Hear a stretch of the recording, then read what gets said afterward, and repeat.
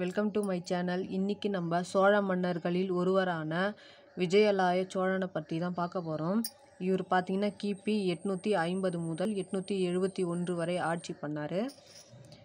கிபி ஒன்பதாம் நூற்றாண்டின் இடையில் பிற்கால சோழர்கள் வலிமை பெற்றனர். விஜயலாய சோழன் வந்து ஆட்சிக்கு வந்த பிறகு பிற்கால சோழர்களுடைய மரபு வந்து வலிமை பெற்றது.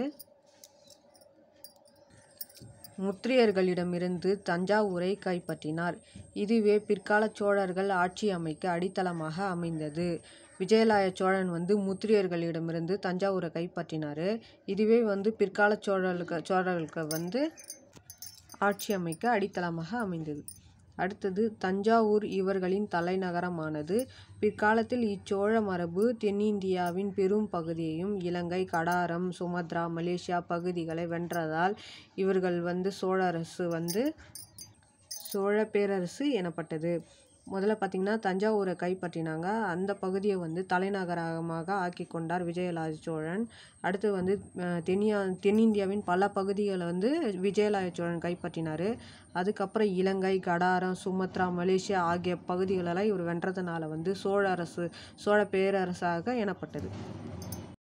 அடுத்தது விஜயாலய சோழனின் தந்தையின் பெயர் பார்த்திங்கன்னா குமரன் காசன் ஆவார். அடுத்தது விஜயாலய சோழன் வந்து பரகேசரி எனும் பட்டத்தை பெற்றவர். முத்திரியர்கள் கிட்ட வெற்றி வென்றதனால வந்து நிதம் பசுதனி என்ற துர்க்கை கோயிலை வந்து விஜயலாய சோழன் கட்டினார்.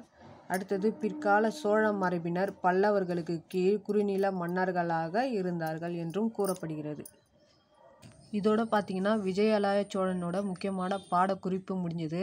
அடுத்தது வந்து முத விஜயலாய சோழனின் மகனான முதலாம் ஆதித்தனை பற்றி அடுத்த வீடியோவில் பார்க்கலாம் இதோட என்னோட வீ வீடியோ முடிஞ்சது. என்னோடய வீடியோ பிடிச்சிருந்தால் லைக் பண்ணுங்கள் ஷேர் பண்ணுங்கள் கமெண்ட் பண்ணுங்கள் மறக்காமல் சப்ஸ்கிரைப் பண்ணுங்கள் தேங்க்யூ